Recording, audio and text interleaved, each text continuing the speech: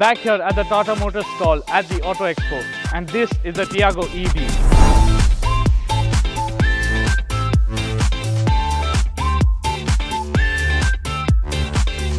Why should you be excited about it? Here are my 5 reasons. Now why exactly haven't we taken to electric cars? Well, because we don't want to compromise. And as you can see here, we aren't compromising one bit. You can sit 5 people comfortably, you have all the creature comforts that you crave of. There are only a quarter of the moving parts. What you see here is the controller and the motors below that and the batteries in the boot. This is the future now.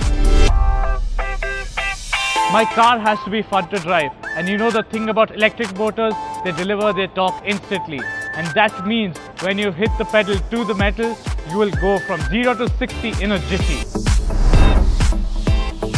The Tiago has a full range of 130 kilometers at full charge. Well, currently it's a 90% and it should be a stress-free drive back home.